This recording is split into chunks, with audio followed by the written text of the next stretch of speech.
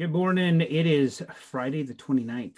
Um, January's done. We're, we're a month into 2021.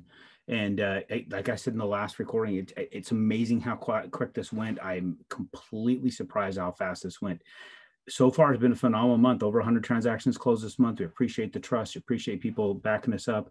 Uh, and just wanted to let you know the calls that you get from us where we need to update information. We got to call you about a document you gave us that now created more more requirements we have a very detailed world we live in. We it's not something we enjoy. Everything you hate to give us, we hate to read. Just know we don't we don't love having you chase paperwork. Drives us insane to have to pick it up and call. In fact, sometimes because of the relationship that we may have, you know, between the processor and you, the borrower or the seller, sometimes because of the reactions people get, they delay the call. I mean, if we if we everybody was just jumping in there and helpful, things would happen much quicker. I'm not saying that people aren't you're saying that there's those that sometimes push back in a way that makes people pause a little bit before they make that call.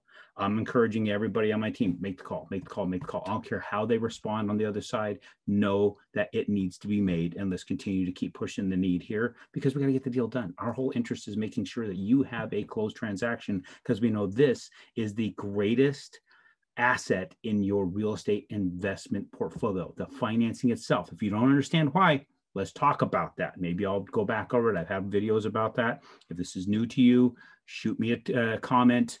I will go back and comment on this because there's a reason why this is the greatest asset associated with your deal. is not debt.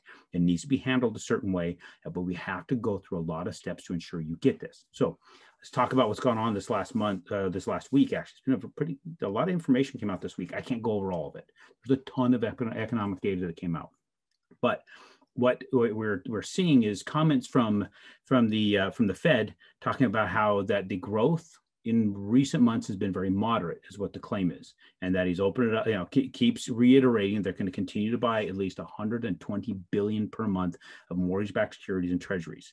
Um, right now, we've been seeing mortgage-backed securities 40 billion-ish, possibly, you know, sometimes more. We've seen more than that. In December, we saw a stupid amount being purchased. Now, that's what's keeping these rates low they are being they are kept in that position by federal the Federal Reserve buying into that, utilizing Treasury money, Treasury money coming from us that's being created as. In my opinion, I I I don't have enough information as what they're doing back there. Um, new home sales information came out that it was up 1.6 in December, a little bit lower than expectation, but still but still sales are still up. The inventory went down, um, and the median home price is up uh, eight percent. So you know, there, there's a little bit of data for you. Uh, as far as the market is concerned, let's see where we are. I'll go ahead and share this screen with you. So we're looking at the, the Fannie Mae 3.0, or excuse me, Universal Mortgage Backed Security 3.0, still up in the upper channel. Look, we're above the resistance, uh, the trend lines. We're, we keep bouncing off that same ceiling, right? So we're fighting our own ceilings of support and resistance. Here's our support. Here's our resistance. We're fighting those ceilings within it we go into the 2.0, which is where everybody's trying to price your uh, mortgage-backed securities for your owner-occupied properties. You're going to see that that has seen a lot more volatility. Why? Because that's where the money's flowing in and out of. A lot more of it's flowing out of there. It's again, is Aaron Chapman's opinion. That's why we're seeing that versus the 3.0, because the real estate investor is the one drawing from the 3.0 right? Or the people with really, really bad credit. Because um, we're seeing that's where the higher interest rate is, right? Higher risks uh, requires a higher interest rate because you're going to have to build in higher margin for the people lending the money. That's where you get a 3.0 margin, uh, 3.0 uh, return instead of, or 3% return instead of a 2% return. So they built in enough margin to, to attract that money into those pools because of the perceived risk of the real estate investor. So that's why those particular risks, in my opinion, we don't see the volume going out that we see going out into the other ones because one, think about the loan size. The loan size for a for a their average investors 80, 90, 100,000. I mean, we're looking at about 100 to 120 in my world.